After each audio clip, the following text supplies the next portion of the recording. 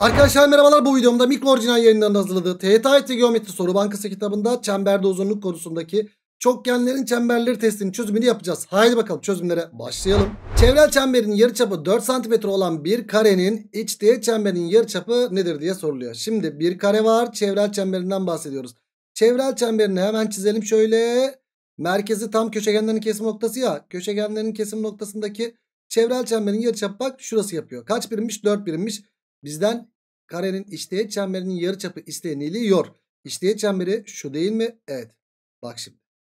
Şimdi burası köşegen uzunluğu 4 ise 4 4 4 köklü değil midir bir kenar? Evet hocam. Burası da 4 köklü. E merkez varsa teğet varsa çektik. Merkez varsa teğet varsa çektik. Burası da R, burası da R. Toplamda 2R eşittir 4 kökli olduğundan dolayı R'yi de böylelikle 2 kökli olarak buluruz. Evet. Birinci soru 2 kökli oldu. Geldik ikinci soruya. Yukarıdaki yarı çapları verilen çemberlerden hangileri aşağıda bir kenar uzunluğu verilen karenin içerisine tam olarak sığabilir? Arkadaş en büyüğünü bulalım mı içine sığabilen? Evet karenin içine sığabilen en büyüğü şu değil midir? Aynen böyle. E en büyüğünün yarı çapını bulalım. Merkez teğet çektik merkez teğet çektik. Bu bir kare 6 birim ya şurası. E burası da yarıçap burası da yarıçap. 2R eşittir 6 ise R'yi böylelikle kaç buluruz? 3 buluruz. Yani yarıçapın 3 olması lazım en büyük. Yarıçap 3 sağlanır. Bu 10 yani kök 10. Kök 10 inceleyelim. Kök 10 3'ten küçük olması lazım sığması için. 3'ten küçük mü? Değil. Karesini 10 küçüktür 9 sağlamadı. O yüzden bu olmaz. 2 kök 2'ye bakalım. 2 kök 2 de eğer 3'ten küçükse içine sığar. Karesini al 8. Karesini al 9. Evet o zaman bu da sığar mı? Sığar. Örnek 2 böylelikle ne bulduk arkadaşım? 1 ve 3 olarak bulduk. Yani cevap 1, 3 yazalım şuraya. Geldik örnek 3'e. Şekilde verilen karenin iç teğet çemberi eşkenar üçgenin çevrel çemberidir. Şunun iç teğet çemberi bu. Merkez teğet çektik. Yapalım şöyle. Merkez teğet çektik. Bu R bu R. Ee, karenin bir kenarı 2R yaptı. İç teğet çemberin yarıçapı karenin bir kenarının yarısı oldu. Karenin kenar uzunluğu da ne verilmiş bize? 4 verilmiş. O zaman R kaç çıktı? 2 çıktı. Şimdi bunun da eşkenar üçgeninde ne işinmiş? Çevrel çemberiymiş. Çevrel çemberini şöyle çizelim. Çevrel çemberin merkezi her şeylerin merkeziydi eşkenar üçgende. Hatta bu yükseklerin kesim noktası ağırlık merkezi falan filan demiyor muyduk? Evet. Yani şuradaki nokta arkadaşlar çevrel çemberin merkezi. E bu da yarıçap bu da yarıçap bu da yarıçap. Şimdi bu 2 verilmiş işte çevrel çemberin yarıçapı bak şurası 2. Hocam burası da 2 burası da 2. Şu aynı zamanda yükseklik ve kenar ortay değil mi? Evet. Bunlar da 30-30 değil mi yükseklik olduğundan dolayı aynen öyle. E 90'ın karşısı 2 ise 30'un karşısı 1 yapar ya da ağırlık merkezinden 2'ye 1 yapar. Üçgenin kenar uzunluğu nedir diye soruluyor. 30'un karşısı 1 ise 60'ın karşısı da kök 3 yapar. E burası da kök 3. Cevap ne oldu o zaman? Bak burası. 2 kök 3 olur. Evet örnek 3'ü 2 kök 3 bulduk. Geldik örnek 4'e. Çevrel çemberin yarıçapı 4 cm olan bir eşkenar üçgen. Eşkenar üçgen çevrel çemberin hemen bak ezber yapmayalım. Çevrel çemberini çizdim. Çevrel çemberin merkezi işte çemberin merkezi aynı noktadır.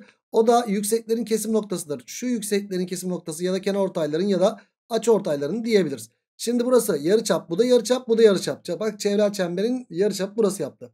Çevrel çemberin yarıçapı 4 birimmiş. Hocam şurası 4 birim. Şurası 4 birim burası 4 birim ve aynı zamanda 30 30 ya 90'ın karşısı 4 ise 30'un karşısı 2 burası da 2 kök 3 yapar. Burası da 2 kök 3 yapar mı? Yapar. Çünkü eşkenarda çizilen yükseklik tabanı iki eş parçaya böldüğünden dolayı. Ne isteniyor bizden? İşteğet çemberin yarıçapı isteniyormuş. Arkadaş 2 burası 2 burası 2 burası değil mi? İşteğet çemberi tam buradaki teğet noktalardan geçer. Çünkü merkez teğet çektikten dolayı. E bizden şu 2 isteniyor. Yani cevap 2 yapar. Evet geldik örnek 5'e. Yukarıda eşkenar yukarıda kenar uzunlukları verilen kare, eşkenar üçgen ve dikdörtgenlerden hangileri aşağıdaki yarıçap uzunluğu verilen çemberin içerisine tam olarak sığabilir? Yani çemberin içerisine sığacak. Arkadaşlar yani çemberin içine sığması için ya bunun çevrel çemberinin yarıçapı ne olmak zorunda? Şu 5'ten küçük olmak zorunda. E arkadaş şu çevrel çemberin yarıçapı köşegenlerin kesim noktasıdır karede 7 bölü kök 2'dir. Yani 7 bölü kök 2 şuna bakacağım. 7 bölü kök 2 küçük müdür 5'ten. Karesini alınca 49 bölü 5 yapıyor burası. Değil mi? 49 bölü 5 küçüktür 25. Doğru mu? Doğru. Evet. Şimdi bir saniye küçük müdür diyeceğiz. 7 bölü kök 2. Şimdi ne diyor? Bu çemberin içerisine. Evet. Şimdi bu çemberin içerisine sığıyor mu arkadaşlar? Küçük olunca sığması lazım. Peki şuna bakalım. Yani bunun çevrel çemberi de bunun çevrel çemberin yarıçapı da yine ne olmak zorunda arkadaşlar?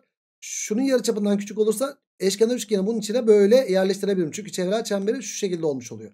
Hadi bakalım bunun çevrel çemberini bulalım. Şu çevrel çember yükseklerin kesim noktasından geliyor. Hemen yükseklerini çizelim.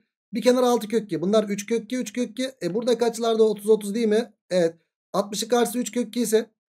Şimdi 30'un karşısı ne olacak? 3 kök 2 bölü 2'den. 3 kök 2 bölü 2'den. 3 kök 2 bölü kök 3'ten dolayı pardon. Kök 3 eşleniyle çarparsam 3 kök 6 bölü 3'ten kök 6 yaptı burası. Şimdi burası kök 6. Burası ne yaptı? 2 kök 6. Bak çevrel çemberin yarıçapı neresi yaptı arkadaş? Şurası yaptı. Şimdi şunu inceleyeceğim. 2 kök 6 5'ten küçük mü? Karesini aldım. 24 küçüktür 25 sağladı mı? Sağladı. O zaman bu da oldu. Şuna bakalım. Bunun çevrel çemberine bakacağım arkadaşlar. Bunun çevrel çemberinin yarıçapı da eğer bundan küçükse dikdörtgeni bunun içerisine koyuyorum demektir. E o zaman hadi bakalım. Bu 6, 8, 10 üçgeninden çapımız 10 çıkar. Çünkü çapı gören çevre açı 90 derecedir. E, dolayısıyla burası 10 çıkar. 5, 5 çıkar. E arkadaş bunun da yarıçapı 5 çıktı. E 5 küçük eşit 5. Yani dikdörtgen tam bu şekilde konulabilir bunun içerisine. Zaten çemberin içerisine tam olarak sığabilir hikayesi soruluyor. E, çemberin içerisine de tam olarak sığabiliyor mu arkadaşlar? İçinde oluyor mu? Oluyor. Üzeri de içinde alınabilir. Yani bu da olmuş oldu. O zaman cevabımız 1, 2 ve 3. Hepsi de sığmış oluyor arkadaşlar. Örnek 5'i böylelikle ne bulduk? 1, 2, 3 bulduk. Geldik örnek 6'ya. Şekilde verilen kare ve eşkenar üçgenin içine çizilebilecek en büyük çemberler aynıdır. Ya bunun içine de bir çember çizsem, diğerinin içerisine de bir çember çizsem bu çemberler birbirinin tıpkısının aynısıymış. Şimdi bunun eşkenar üçgenin işteğet çemberinin merkezinden bahsediyoruz. İşteğet çemberi yani yükseklerin kesim noktasıdır aynı zamanda. Açıortayların kesim noktasıdır. Yükseklerin kesim noktasıdır. 30 30. E bu merkez teğet çektik, merkez teğet çektik. Hocam buradaki yarıçapla bu işleyen çemberin yarıçapı burada küçük olanlar R. E, buna göre diyor çemberin yarıçapları oranı nedir? Ne diyor? Kare ve eşkenar üçgeni kapsayan en küçük çemberin yarıçapları oranı kaç olabilir diye soruluyor. Tamam. Şimdi arkadaşlar oran istenildiği için burada R R demeyelim. Bence 1 1 diyelim. Sonuçta oranda R'ler bir sadeleşecek. Evet burası 1 ise 30'un karşısı 1 ise 60'ın karşısı kaç olur? Kök 3 yapar. E burası da kök 3 yaptı. Hatta burası 1 iken burası da ne yapar arkadaşlar? E, 30'un karşısı 1 iken 90'ın karşısı 2. Çevrel çemberin yarıçapı bunun kaç yaptı? 2 yaptı. Şunun çevrel çemberini çizecek olursam yarıçapı kaçmış bunun? 2'ymiş.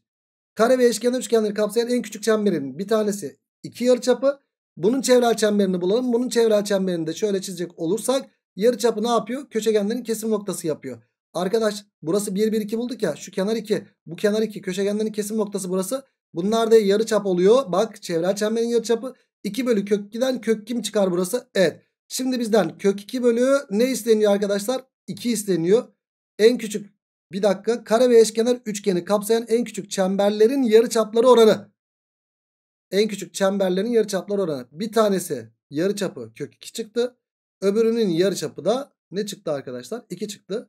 E, ya kök 2 bölü 2 isteniyor bizden ya da 2 bölü kök 2 isteniyor. Kök 2 eşleniyle çarparsam 2 kök 2 bölü 2'den cevap ne yapacaktır? Kök 2 yapacaktır. Cevap ya kök 2 çıkıyor ya da 1 bölü kök 2 çıkıyor arkadaşlar. Ya da kök 2 bölü 2 çıkıyor. Şıklarda hangisi varsa yani cevap ya bu ya bu. Şıkka bakıyoruz kök 2 var. O zaman cevap kök 2 diyebiliriz arkadaşlar. Evet gençler böylelikle bu testi de bitirdik. O zaman ne diyoruz? Bir sonraki videoda çemberde uzaklık testinde görüşmek dileğiyle kendinize iyi bakın. Hoşçakalın.